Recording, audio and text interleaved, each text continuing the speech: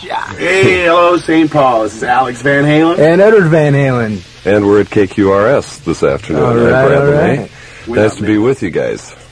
You're in town. You were in town last night for a sold-out show at the St. Paul and we'll Civic Center back Theater. tonight At St. Paul uh, Theater. Theater for one more smash sold out performance. We're going to blow the roof off and make the uh, sunrise of the ninth encore. Yeah, how are you guys feeling after 10 months of touring? Huh? Uh, great. How do we look? you look healthy. You, you looked healthy the last time you were here. Well, that's our diet, you know. We, we subsist on a, a heavy diet of starchy foods, candy bars, and uh, Potato a lot of chips. Coca-Colas and yeah, potato chips. That's that's the way to survive on the road. On the road. Yeah, and no sleep, of course. Uh, you can't sleep, and don't take any vitamins because otherwise you may get very ill. That's the Van Halen World Vacation. Number two. David's singing with uh, You singing with a strep throat. a throat. strep throat. Yes. Yes. that's pretty heavy. Well, in the five years that we've been together and uh, the extensive touring we've been doing, especially last year, this year, we've never missed a show. Proud to say. No Not a matter how single- ill we were, or uh, or how healthy we were, for that matter. never missed a show. And Where do where do the uh, shows originate from? Where are you guys from? Well, uh, let's see. Originally, Edward and I from Amsterdam, uh, David's from Bloomington, Indiana, and Michael's from Chicago. But that's neither here nor there. It We got- started in yeah. California, though, right? Right. We got together in California and uh, started, of course, at the local high school dances. Uh, Actually, in backyard parties. yeah, backyard parties. We used to Uh, set up a keg of beer, you know, charge a dollar, let the kids in. You know, we'd have a friend with with a big house and uh, just let all the kids back. and then we moved the party in, indoors. We started to uh, rent our own halls.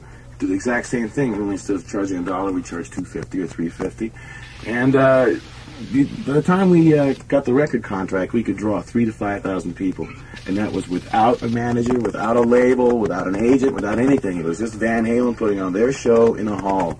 And, uh, you know, sooner or later, the people from the record company were bound to notice, which they did. One night we played in uh, a club in Hollywood, Mo Ostin and Ted Templeman came in and said, listen, look, at these, look these papers over, take your time, you know, and uh, see what you think. The next day we signed.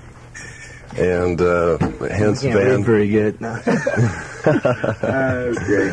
and Van Halen one came out approximately how much longer after that? Well, I What'd you can't remember say? exactly after signing of the uh, contract, but it was about three weeks in the making uh, because we record very pure It's just like live, actually. We just take our stage equipment, set up in a big room, and play. and leave the technical aspect up to Ted, and he just puts the sound on the record and lets it flow over the sides and come out your ears and out your nose and anywhere else you take it.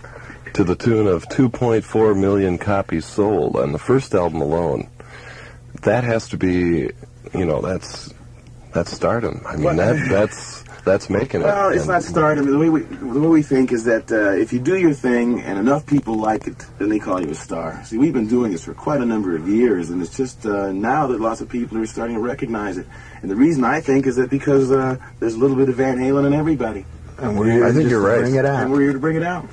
and How's you it feel to be certainly a star, do that. Al? Oh man, that- wow, man, you know, hey, don't talk to Hey, the second album, the second album isn't doing too bad either. I No, mean, that's uh, we- one and a half now, We and recorded that one in six days, and on the seventh day we rested. uh, no, same concept. We went in, uh, took all our stage gear, and again, just recorded straight ahead with a minimal of overdubs. It just went a lot faster because uh, the first album's out, you know, the first time we've ever been in the studio. Second time just went a lot quicker, both on Ted's part and our part. right. One of our listeners called and said, "Hey, this uh, this is your first tour as a main act. Mm-hmm. How does that, how does that feel? Just to go right up there and, hey, well, I'm going Well, to." uh, what we did was all the money we, we made last year, we reinvested in bigger equipment, better equipment, all custom designed and heavy duty powerized. You know, as uh, as you'll see tonight if you go see the show. See, every Um, everything you you see you'll see tonight is purely Van Halen. Like last year, you know, we had to use the other act sound system and lighting, things like that. Now, you know, total freedom. You can do whatever we want to do. We have enough lights to light up a small city. I think. Yeah. Phoenix and New York City. Some small ci- some small cities we play don't have enough power. yeah. But uh, the lighting is very theatrical. Uh, I think we have a total of 390,000 watts of lighting.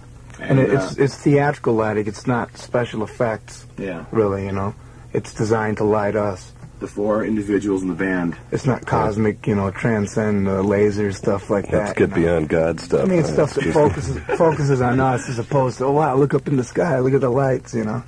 Yeah. Yeah. So, in other words, you've taken you've taken your sound and you've done a small hall kind of image, but you've incorporated a lot of big hall techniques. Right. I think So the, we the carry sound lights that we're carrying, most bands use it in uh, 10 to 15,000 seat arenas. We're using it in three to 5,000 seaters. And uh, we're, we've been taking it all over the world. We're traveling with a crew of about 22 guys. We've got three gigantic semis, uh, two custom coaches that we travel with, and uh, we're just covering the four corners of the globe. And so far, we've already finished uh, Europe, England, uh, Canada, U.S. Of course, we'll be going through the U.S. back and forth uh, for you know forever. The. U.S. is the most fun, Yeah. of course. We'll be going to Japan, Australia, New Zealand, uh, every South America. Uh, you name it, we'll be there. You're going to do it all over We're the world. That's gonna- everybody. well, I don't I don't uh, hear of anybody coming away from your concerts with you know bad vibes. They, you know, everybody says, "Wow, these Yeah, guys are great. really hot." yeah, I think St. Paul is You great. know, well, you like this town, don't you? Oh yeah, love it. You had a good time when you were here last year, although the concert was not well attended last year. And that, uh, Well, we weren't headlining.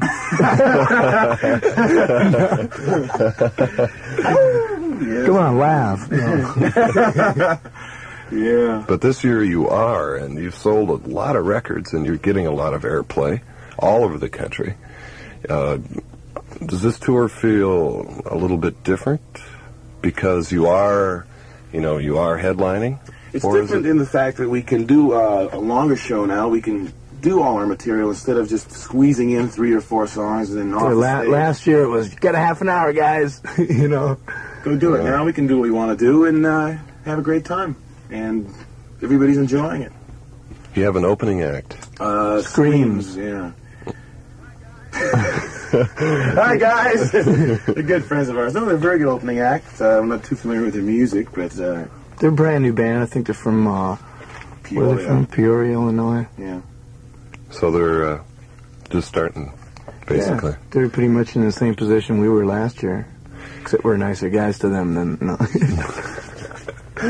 I wanted to ask you about um, uh, one of our listeners asked about your involvement with the audience and how David relates to the audience Well, if you really stop to think about it, we're, we're we're straight out of the audience. We used to, st- as a matter of fact, we still do. Every chance we get, go see every band, even the ones we don't like. We see three or four different times because uh, that's just the way we are. We enjoy music. We a variety.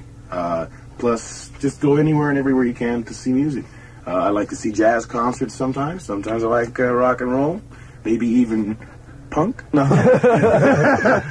if you like dancing, go to a But disco. really a variety of things, and we just come straight out of the audience, as a matter of fact. And what we're doing on stage is what we would like to see on stage. And Basically, when we when we play, it's like uh, tonight. It's at St. Paul Theater. It'll be three thousand of our closest friends. Yeah, it's a celebration, you know, a good time. A summer celebration. Anytime celebration, anywhere. A, very, uh, a VH celebration. Very high, very happy.